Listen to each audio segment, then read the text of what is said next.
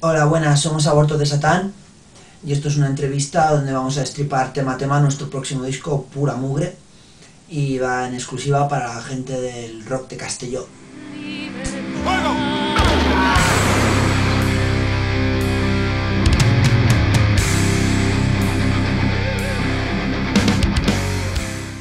Bueno, la primera canción del álbum es la introducción, se llama Mano Dura y después del momento emotivo del Yo te nombro, que es como empieza el álbum, después del Yo te nombro, pues se suceden una, una serie de audios, una serie de frases que ya escucharéis. Federico García Lorca, el poeta Manuel Chinato, el cabrero KCO, la, la detención narrada del rapero Pablo Hasél, bueno, una serie de audios que incitan a la libertad de expresión y que desembocan en el tema que le sucede, que es Mordaza.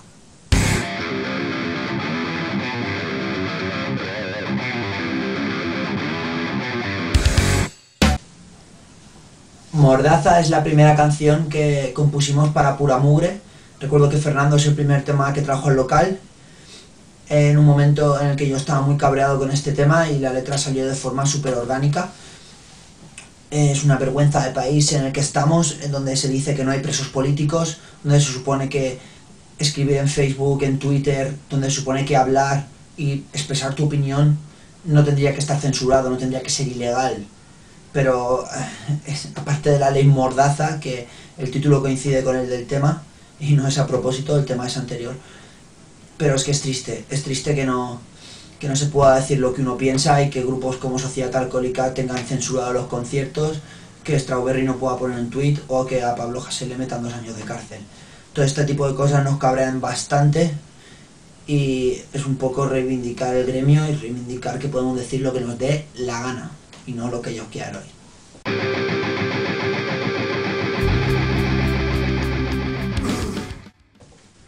Atraca Farmacias es uno de los temas más macarras del CD.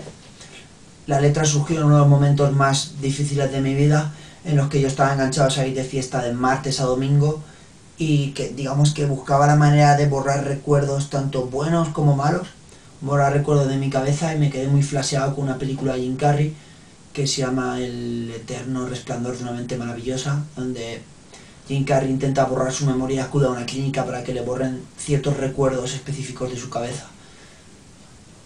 Salió de forma bastante directa y estoy muy contento con el resultado. Es uno de los temas más bandarras del CD y tiene una energía muy punk y muy guarra.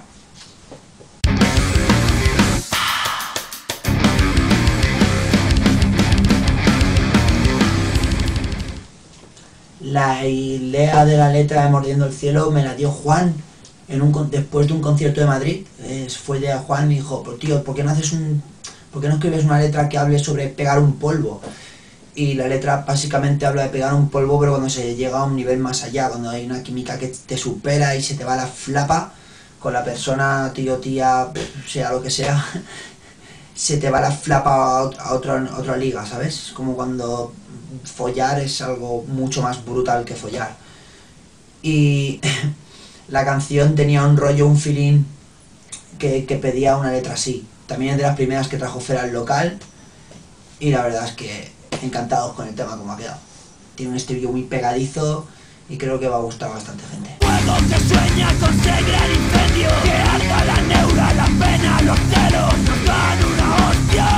400% básicamente es un tema que habla de nosotros cuatro, de los 10 años que llevamos, de, todas las locuras que hemos hecho, de broncas, trifulcas, eh, eso, parranda y hemos considerado necesario hacer un tema después de 10 años que fuese pesado, macarra, bandarra, eh, que suelte bastante energía, eh, con ris pegadizos, y eso, que fuese directo a la cara y que mostrase conforme somos nosotros. Entonces la idea es eso, una canción enérgica que mostrase transparentemente cómo somos nosotros y cómo la peña ya nos conoce, los que nos conocen, claro. Y eso.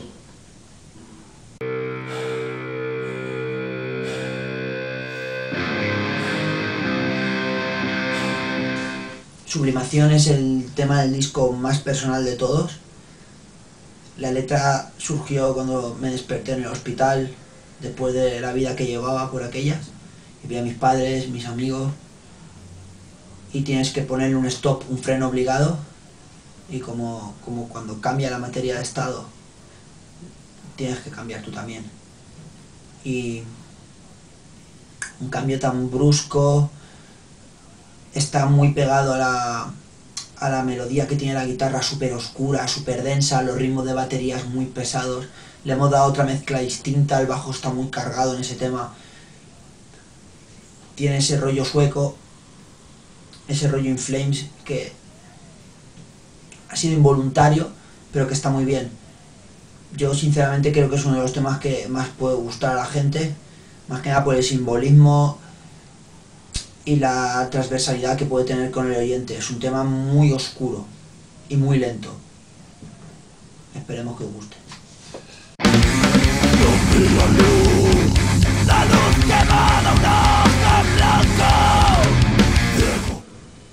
Cuando llega un momento que después de tanta historias, que, tantas historias que te han pasado en la vida, eh, tantas penas y no sé, al final te acabas dejando, eh, acabas de no tener sentimientos, no sientes absolutamente ni alegría, ni tristeza, ni hay veces que ni dolor, ¿sabes? En plan, como que te da igual todo, como que estás desconectado, que es básicamente como se llama el tema este, se llama desconectado. Y eso que llegas a un estado de anedonia, que significa que no, no, no sientes eso, no sientes absolutamente nada. Es como si hubieses mm, cambiado de plano en esta vida, como si te hubiesen desconectado, desenchufado de, del ordenador de lo que es la vida, por así decirlo. Claro, es una, una rayada, pero bueno. Y eso, básicamente decidimos hacer un tema así más hardcore, más, más cañero y con un estribillo también un poco más, más melódico y psicodélico a la vez, en plan como que sentimientos de, de paz y tranquilidad mezclados con tralla, pero que no llegan a tener un cierto, cierto sentido, o sea, que es un poco como que no los, no los llegas a sentir, es algo extraño te explicar, algo muy raro. ¿Qué respuesta? Mi coco, vergüenza de este otoño En mi bolsillo las ganas me queman Llevo a Dios en la cartera, en la chispa Este tema eh, también es un poco extraño de, de, explicar porque realmente nació de un poco de... Eh, en plan, vamos a, a, hacer un riff así de loco en, en, entre Juan y yo. En plan, empezamos ahí Juan y yo una tarde con, con, el programa de grabación y se nos ocurrieron un par de, de riffs al estilo, yo sé, al estilo Slipknot, al estilo Pantera y de repente nos dimos cuenta de que el, el, el riff de guitarra con el ritmo de batería pues se había, había hecho una especie de combinación bastante extraña pero a la par cañera y con un ritmo llevadero y decimos, hostia, pues vamos a hacer un tema no sé, un tema así frenético. Y, siguió fluyendo el tema y al final eh, Juan en un día de locura dijo, hostia, pues esto parece que sea como si alguien se hubiese metido una raya de cocaína, o sea, vamos a hacer un tema así frenético. Y básicamente la letra habla de un, de un tío, un, habla en primera persona de uno, de uno que es dependiente a tal extremo de la cocaína que no es capaz de disfrutar de lo que realmente es salir de fiesta, eh, salir con los amigos, que solamente se centra en la de, de, depender de la cocaína, es en plan, como si fuese una gasolina en su vida, como si fuese combustible para, para poder vivir, sin sentimiento alguno más que simplemente disfrutar de, de la droga. O sea, ya no, perdón, ni siquiera disfrutar de la droga.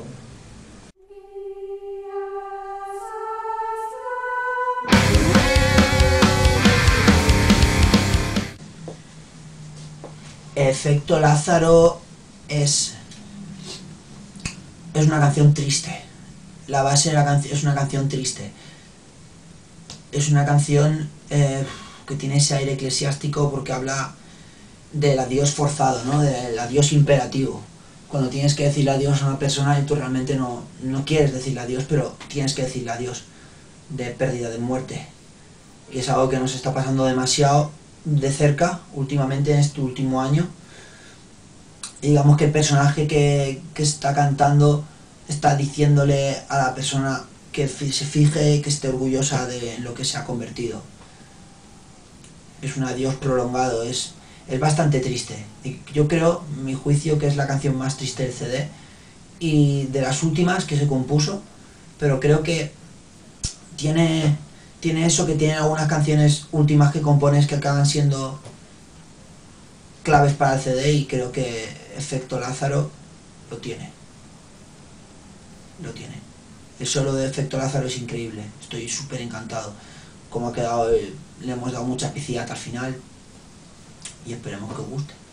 Bueno, se lo he dicho antes, lo esperemos que os guste.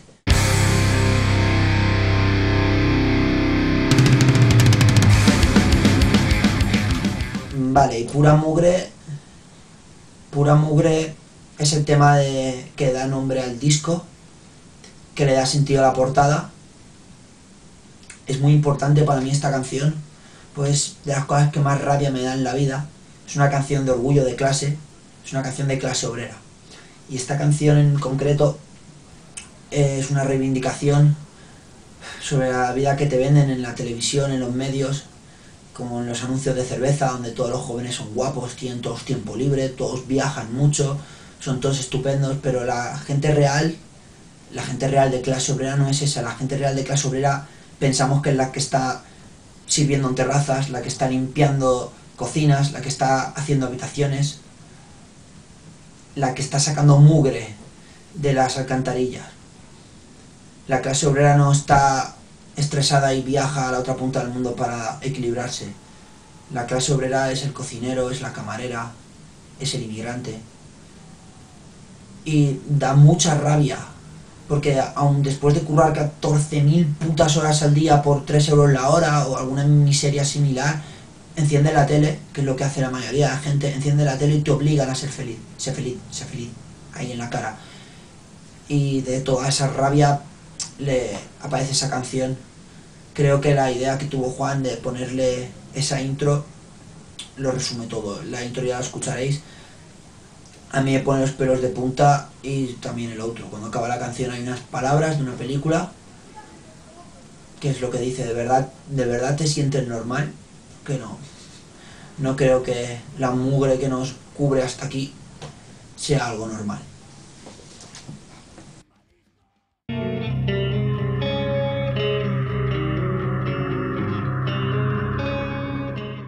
El tema que cierra el disco de Estratosfera eh, es una rayada mental que nos ocurrió a todos un poco en el local. Eh, empezamos haciendo unos risas así un poco más a medios tiempos, en plan lentillos, eh, psicodélicos con delays y efectos y movidas. Y, y dijimos, hostia, pues mm, ya que no tenemos ninguna instrumental así larga, mm, la dejamos sin voz y solamente vamos a meter efectos en plan de espaciales y tal de como un tío que sale de la Tierra en una nave, eh, explora el espacio y notas como que va perdiendo un poco el juicio y tal, y como que está eh, intentando contactar con los de la Tierra y al final pierde, el, pierde la noción de todo, de la noción del tiempo, pierde la noción de, de la cordura y al final ves como, sí, como se va yendo un poco a la mierda el tío. Y eso más que nada es un, una situación de locura en, en, una nave espacial con muchos efectos psicodélicos y, cosas raras. Es un, una canción instrumental psicodélica y, que no, acaba de ser pesada, pero es eso, técnica en cierto, en cierto punto. Bueno, y dar las gracias por último a la gente del Rock de Castelló por esta entrevista. Para nosotros es un placer contestarla. Y salud y metal.